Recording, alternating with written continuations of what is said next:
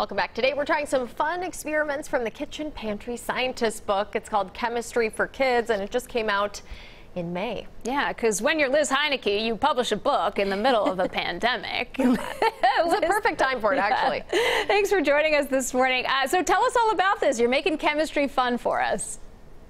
Yeah, so these experiments are kind of cool because historical scientists did uh, projects related to them. So that's kind of what my book is about. I pair up scientists with projects related to the work they did. So the first project I'm going to do is one that Charles Darwin actually did when he was studying how eggs could have floated from South America over to the Galapagos.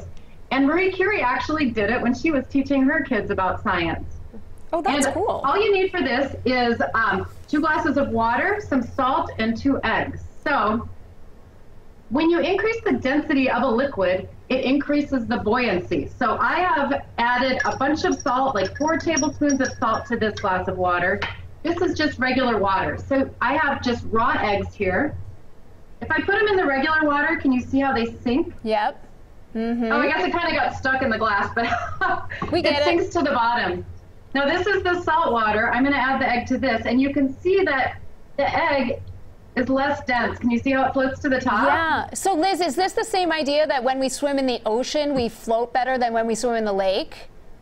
Exactly. Okay. So salt water is more buoyant. It's pushing. It's pushing on you, and um, that is why you can salt or sorry swim easily in salt water and stay mm. stay afloat.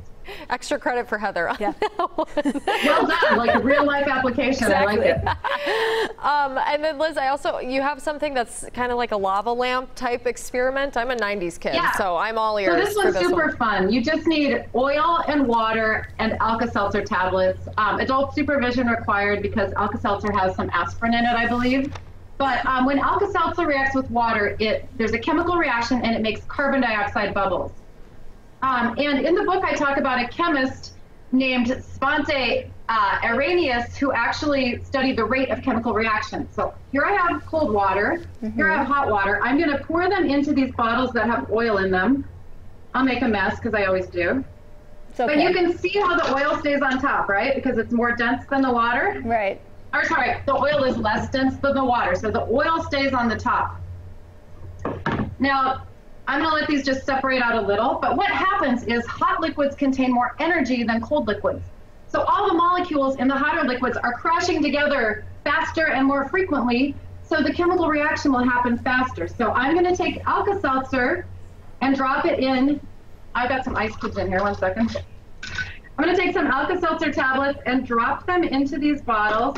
And we're going to see whether the hot or cold chemical reaction starts happening faster. And you'll be able to see the carbon dioxide bubbles. Oh, there we go. We can see it. In there it's going. Water.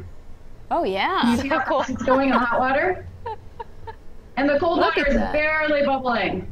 And you got your own lava lamp. Demonstration of how chemical reactions happen faster when it's hot. Those are awesome. Looks like the one I used to have next to my uh, yeah. bubble chair in my yeah. Nintendo 64. when all those things were cool. You are a true 90s child. Uh, Liz, we know that you're known for the kids' books, but uh, you got an adult book there for us? I'm super excited. Yeah, uh, I have a book coming out in February called Radiant for adults. Um, it's uh, about it's about Marie Curie and an inventor dancer named Loie Fuller. They both lived in Paris around 1900 and they were friends. So it's sort of the story about their friendship and their life, and it's so much fun to write. Oh, fun. And wait, when again? When is that coming out again? It's coming out in February of 2020. Sorry, 2021. But you can order it um, anywhere now. It's it's available online. Um, and Great. I just got the galley prints, so this is what it's going to look like. Awesome. A cover pretty? Great. Liz, congratulations. Thanks so much for joining us. Uh, you can see more of Energizer Bunny Liz's experiments at kitchenpantryscientist.com. Let us go to wcco.com slash links, and we will be sure to get you there.